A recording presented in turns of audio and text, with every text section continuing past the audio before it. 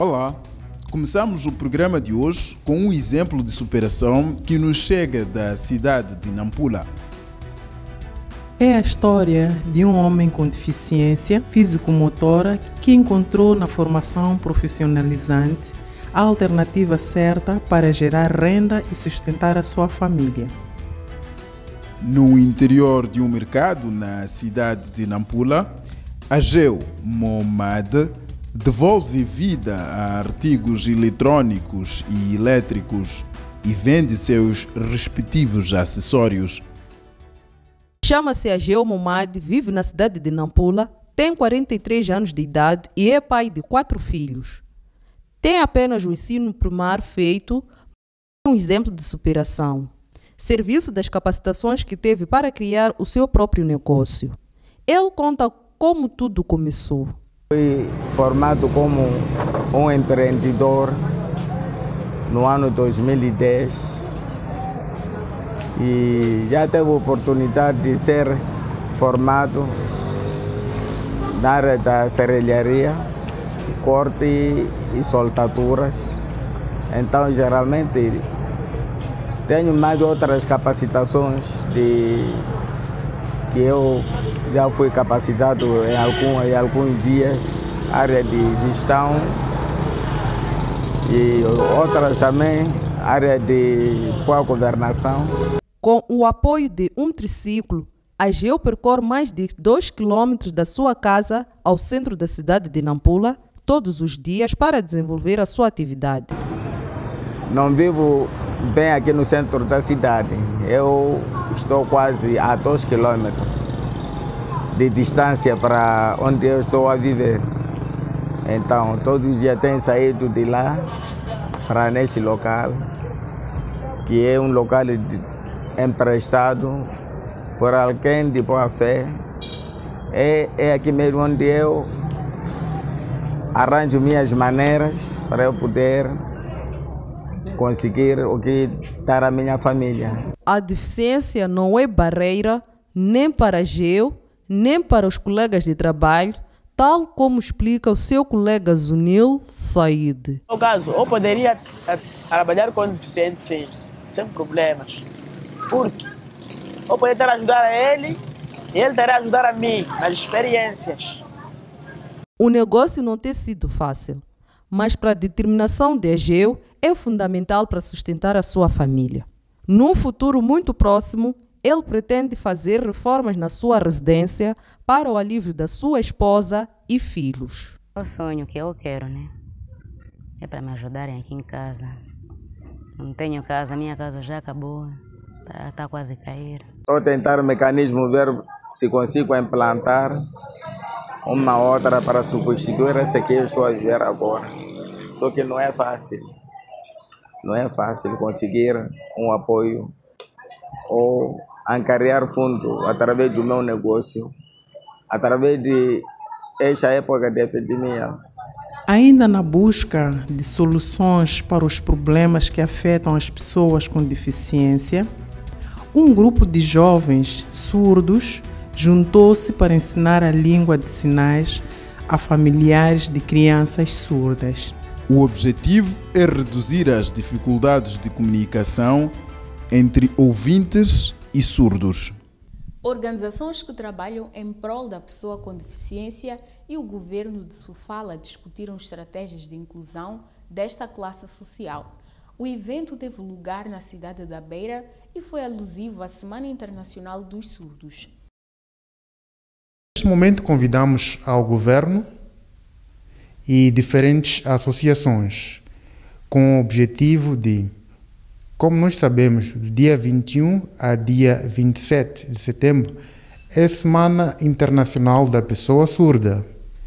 E nós queríamos ouvir, por isso chamamos e ouvimos preocupações de cada associação.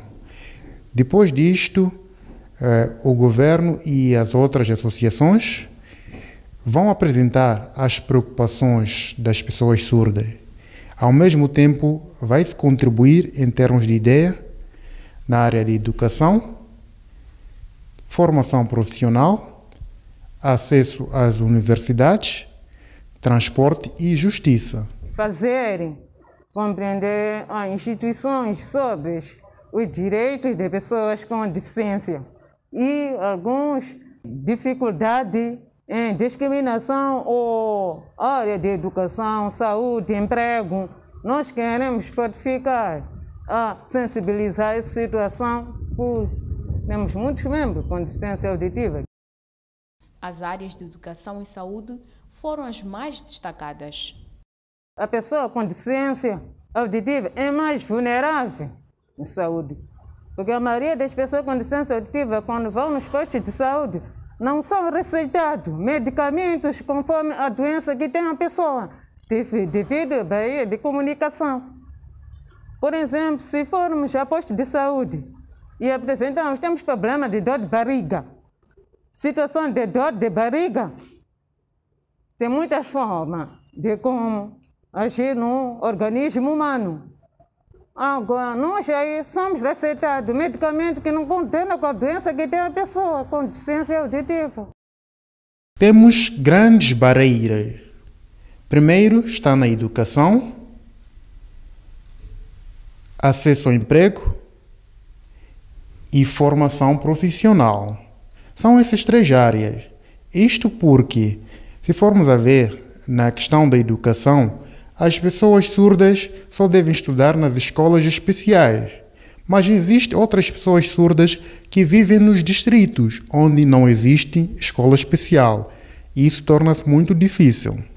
Para a questão da formação profissional, existem muitos locais mas as pessoas surdas não podem ter acesso porque não têm intérprete de línguas de sinais. A Direção Provincial de Educação de Sofala reconhece o problema e garante estar a trabalhar na busca de soluções.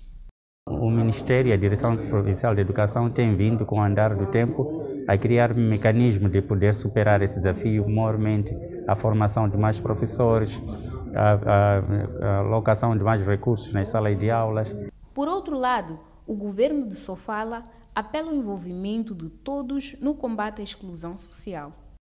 Somos chamados a assumir, primeiro como cidadão moçambicano, que pretende ver que os direitos de cada um sejam valorados e sejam priorizados para todos termos acesso a todo tipo de serviço pelo qual pretendemos beneficiar.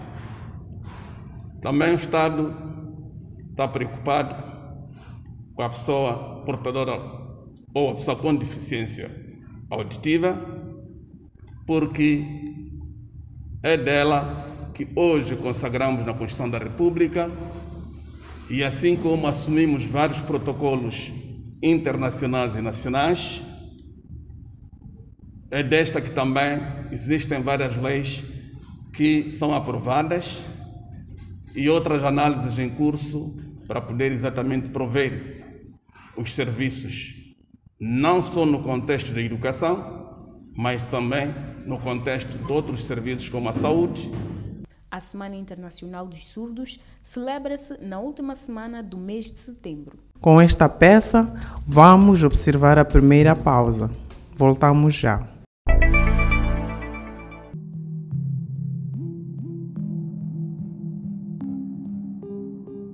O nosso transporte público é um serviço essencial onde mais de 300 mil pessoas por dia têm contato e podem correr o risco de contrair o novo coronavírus. As cooperativas e empresas municipais de transporte público devem tomar as medidas já anunciadas pelo governo, redobrar os cuidados de higiene individuais e coletivas e adotar outras mais específicas do ramo do transporte público de passageiros.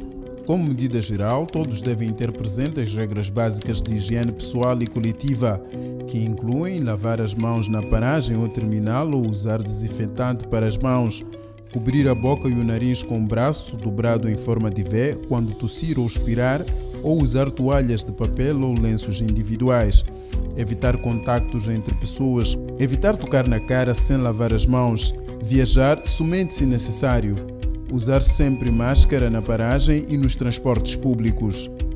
Porque se não fizermos isso, o Covid vai se alastrar nos autocarros e será de difícil controle. Apelamos a todos quanto viajam nos autocarros e os que trabalham nos autocarros para prevenir esta doença que está a acabar com as pessoas pelo mundo todo. Regras específicas para os transportadores. Os transportadores devem respeitar a lotação recomendada para cada tipo de viatura. As viaturas pequenas devem ter um máximo de 15 pessoas, sendo 3 em cada banco. Nas viaturas médias, com lotação de 26 lugares, devem estar todos sentados. Os autocarros devem levar até 70 pessoas no máximo, sendo todos os bancos ocupados e o resto das pessoas em pé. Os passageiros devem todos entrar pela porta da frente e sair pela porta de trás do autocarro, exceto os passageiros com deficiência físico-motora. Os cobradores não devem usar saliva nos dedos na entrega dos bilhetes e trocos aos passageiros. Os motoristas e os cobradores devem usar sempre uma máscara de proteção, cobrindo o nariz e a boca. O cobrador deve controlar o uso consistente da máscara pelos passageiros e não permitir a entrada daquele que não a tiver. Os motoristas devem levar consigo no transporte produtos de desinfecção pessoal e do transporte. O cobrador e o motorista devem lavar as mãos com água e sabão ou aplicar gel desinfetante a cada viagem.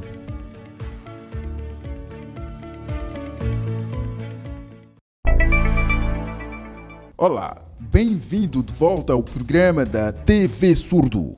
Organizações de pessoas com deficiência voltam a confiar no Cantol Ponja para dirigir os destinos do FAMOD, Fórum das Associações Moçambicanas de Pessoas com Deficiência.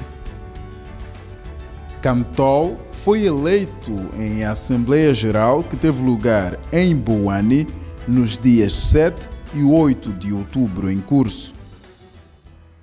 Cantol Ponja promete tornar a educação, transporte e as infraestruturas moçambicanas mais acessíveis a pessoas com deficiência.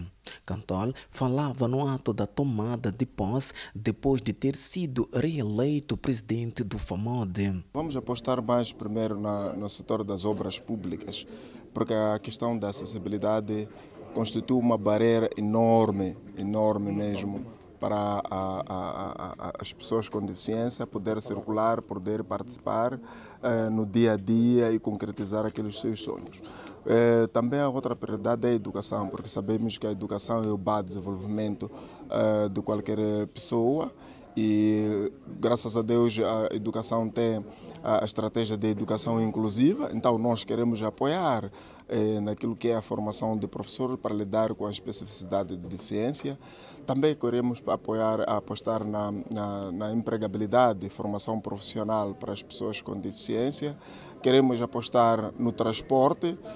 O país ainda não dispõe de transporte acessível para as pessoas com deficiência. Para o efeito, Cantol vai apostar na inclusão ativa das delegações provinciais. Inclusão dos membros das delegações provinciais da busca da, das necessidades e prioridade que as pessoas com deficiência têm ao nível uh, de Moçambique, lutar na defesa dos direitos das pessoas com deficiência e na aprovação e implementação de políticas e planos eh, apoiando o governo naquilo que ratificou os compromissos que assumiu em Londres, a própria convenção tentar trabalhar para mudar as atitudes negativas e discriminatórias contra as pessoas com deficiência, lutando sim para a inclusão, porque nós temos um lema que diz nada para nós sem nós. Então é preciso que em todas as planificações sejam envolvidas pessoas com deficiência, porque eles reconhecem as suas necessidades. Sérgio Govela, da Cifotécnica, membro do FAMOD, destaca algumas áreas que gostaria de ver melhoradas. Nossos empregadores não estão sensíveis à questão da pessoa com deficiência. E nem só os requisitos em si, que muitas das vezes são, são solicitados para que uma pessoa com deficiência tenha eh, para, para, para o setor de emprego. Pessoas com deficiência, muitas delas acabam perdendo emprego devido à sua idade. Sabe-se muito bem que muitas pessoas com deficiência entraram tarde na escola devido às várias dificuldades que o país oferecia e, e que não, não, não era possível todas as pessoas com deficiência ter acesso à educação. A JOSMO, Associação dos Jovens Surdos de Moçambique, recém-aprovada para um membro do FAMOD, espera vir ultrapassadas as barreiras de acesso a emprego e saúde. Nós gostaríamos que promovesse, eh, continuasse com a promoção dos direitos da pessoa com deficiência. Nós queremos mais ter acesso à informação profissional e também acesso ao emprego. Também temos outro desafio que é acesso aos serviços sanitários. Temos ainda desafios que prevalecem. Então, com a FAMOD junto com a JOSM, juntos vamos ultrapassar essas barreiras. Participar na Assembleia Geral, que serviu também para retificar os estatutos do FAMOD, 26 associações representativas de pessoas com deficiência de todo o país. Vamos a mais uma breve pausa, voltamos num piscar de olhos.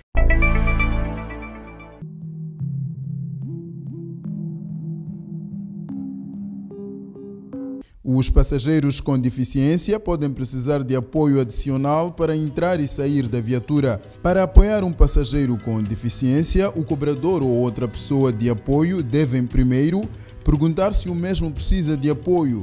Só depois, em caso de resposta positiva, seguir os seguintes métodos: passageiros com deficiência física motora Desinfetar todas as zonas de apoio da cadeira de rodas canadiana ou outro meio de compensação do passageiro. O apoiante e o passageiro devem desinfectar as mãos. Ambos devem usar máscara de proteção enquanto todo o processo de apoio acontece. Ao passageiro com deficiência visual, após perguntar se necessita de ajuda e desinfetar as mãos, evite apoiá-lo pelas mãos, direcione-o ao seu lugar, tocando-o pelo ombro ou segurando o seu antebraço. Para os passageiros com deficiência auditiva, cole no transporte público um cartaz com linguagem clara que indica todo o processo de desinfecção e segurança.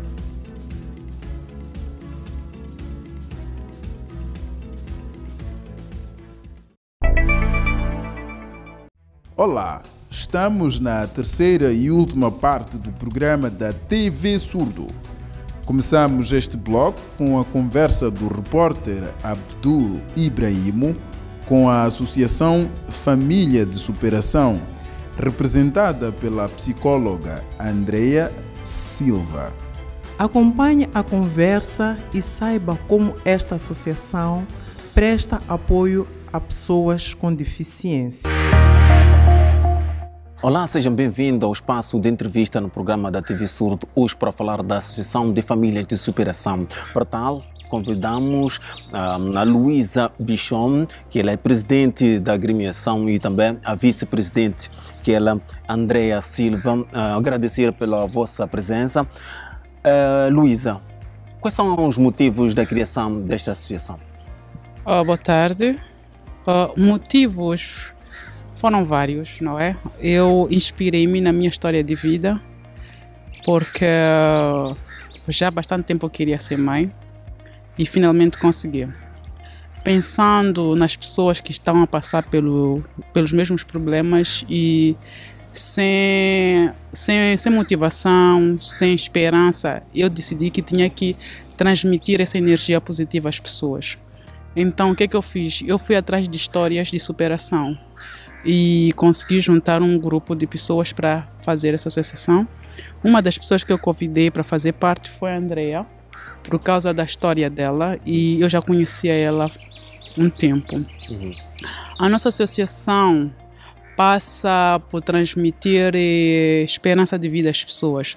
A gente não faz só ação social, mas colhemos histórias, não é, de pessoas que são mais ou menos excluídas na sociedade, que se sentem excluídas na sociedade, que acham que por algum e outro motivo, pelos problemas que eles passam na vida, não têm solução tão desesperadas. Esse é um dos grandes motivos que me fez com que eu pudesse abraçar este propósito. Uhum. Foi por aí. Exato. Existem várias agremiações da sociedade civil eh, que trabalham em várias ordens. Falo da criança, da mulher, das pessoas com deficiência o, qual é o diferencial desta vossa associação com as outras que existem no país? Uh, nós não somos só focados a uma, a uma só direção. Nós somos o somos uma família que, que a, a, abrange a, todo tipo de pessoas. Não interessando se é deficiente ou não, nós abraçamos na totalidade para as pessoas sentirem-se acolhidas. Por isso é que eu digo que esta família foi mesmo criada para abraçar as pessoas necessitadas que se sentem excluídas da sociedade de alguma forma. E nós estamos com portas abertas para receber qualquer tipo de pessoa que se sente deste jeito, desta maneira, posso assim dizer. Exato. Andréa, um, a organização está criada, já um, estão no processo de criação do, aliás, da publicação do BER. O que esperam resolver desta vossa associação? Uh, com a família de superação, o que é que nós pretendemos? É tentar, não é, nem sequer é tentar, é mesmo trazer apoio uh, a todos aqueles que necessitam, aqueles que dão um grito de socorro. Nós vamos e damos o nosso melhor para poder apoiar estas pessoas. Uh, se é problemas de saúde, uh, pessoas que têm alguma deficiência e que não têm meios para adquirir certas coisas, eh, quer seja medicação, quer seja, uh, por exemplo, cadeira de rodas. Nós sabemos que as cadeiras de rodas não são baratas, uh, eu que o diga, e acho que o Abdul também sim, conhece sim, muito sim, bem esta situação. Uh, são crianças que são abandonadas, crianças que já nascem doentes e que são abandonadas, enfim, temos várias várias situações e que nós uh, estamos ali para ouvir este grito de socorro e trazer aquilo que é o nosso apoio da melhor forma possível. Não fazemos maravilhas, não podemos prometer isto, mas nós. Uh, uh, o nosso objetivo é, é, é poder atingir esta nossa meta poder ajudar o outro, é a empatia, trazer apoio, conversar. Uma conversa até é, é, suficiente para esta pessoa superar aquilo por aquilo que está a passar. Então nós estamos, é por isso é que nós chamamos de família de superação, que é para ajudarmos os outros a levantarem-se e dizer que a vida continua e que eles não estão sozinhos. No dia 25 de setembro, hum, a associação esteve a trabalhar com os motoqueiros da cidade de Maputo uh, no apoio a, famílias carenciadas, nos casos também com deficiência. Uh, daqui para frente, como é que vocês pretendem trabalhar? Eh, as histórias chegam a nós e, e, nós, como família de superação, não é? Nós somos, uh, nós somos 10 membros e depois temos os voluntários, não é? Então nós sempre vamos, porque sabemos que sozinhos nós não podemos chegar até lá. Então não nos custa nada pedir apoio, por exemplo, para o que aconteceu no dia 25, nós contactamos, a, uh, pedimos apoio uh, aos motoqueiros e eles aceitaram, aceitaram abraçar esta, esta causa e depois juntamos ainda outros outras situações. Nós solicitamos o apoio da, uh, dos motoqueiros e, e, eles abraçaram esta causa e também uh, disseram por que não. Então, a família superação é isto, família. É uma coisa grande, não são só duas pessoas para poder atingir aquilo que são as metas. Não, é preciso mais gente. Estamos ainda a iniciar em um processo longo e o nosso maior desafio está no apoio, porque nós recebemos solicitação de muita gente. Temos, por exemplo, a Beatriz, que é uma moça que ficou internada no Hospital José Macam, carecia de doação de sangue, não conseguimos dar na totalidade. Neste momento, ela precisa de ajuda alimentar para poder recuperar, porque ela tem uma cirurgia por fazer e não fez ainda porque não tem a hemoglobina ainda no, no ponto para poder fazer a, a, a cirurgia. Então, o que nós vamos pedir aqui é mesmo apoio, é mesmo financiamento, é mesmo interação com as outras associações, com os outros grupos. Nós estamos abertos, somos um grupo aberto, não somos um grupo fechado. Então, nós recebemos todos de braços abertos. Estamos para todos. Onde podem vos contactar Nos casos querem talvez saber mais sobre essa vossa associação. Nós temos um grupo de, no Facebook, Família de Superação. Temos uma página também. Temos uma página aberta no Instagram. E temos agora a criar o canal YouTube. E se alguém esteja a nos acompanhar neste momento e, por exemplo, quer uma cadeira de roda, por exemplo, são pessoas com deficiência neste caso, como é que faria chegar até vocês? Sabemos que existem pessoas, infelizmente, de má fé e que querem se aproveitar disto e nós e nós tivemos e nós passamos por esta situação. Houve alguém que surgiu e queria doar uma cadeira de rodas, mas ao mesmo tempo estava a cobrar. Enfim, é doar ou é vender? Aí está. Então por detrás de, todas, de todos esses pedidos ou solicitações, nós conseguimos, nós conseguimos uh, pesquisar, ligamos, vamos ao encontro da, das pessoas quando podemos e tentamos ver a veracidade desta situação, da história desta pessoa.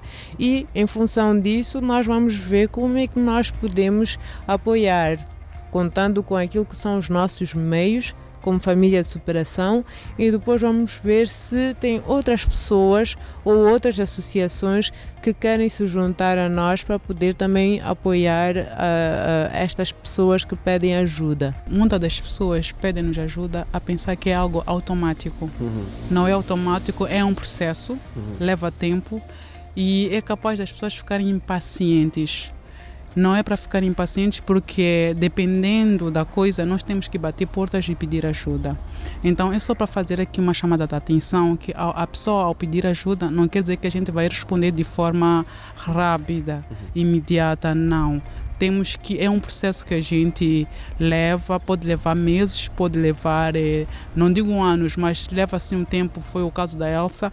Elsa entrou em contato, pediu ajuda, mas nós levamos um tempo para satisfazer a vontade dela. E graças aos motoqueiros nós conseguimos atender ao pedido dela. É só ter um bocadinho mais de paciência, porque não trabalhamos só, não é? Muito obrigado, Luísa, presidente da Associação de Família de Superação. Obrigado, Andréa, por estar aqui e conversar em torno desta vossa hum, agremiação. Nós ficamos por aqui, com promessa de cá voltar daqui a sete dias e até lá.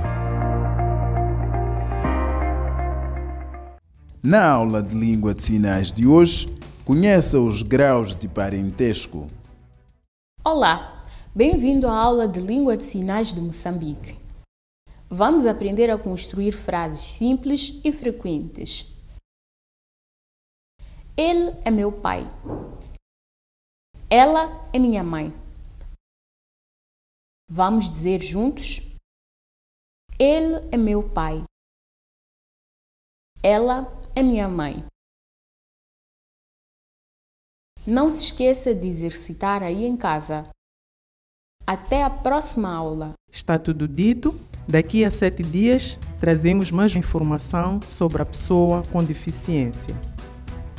Se tiver perdido alguma publicação, não se preocupe. Acede às nossas contas do Facebook e YouTube.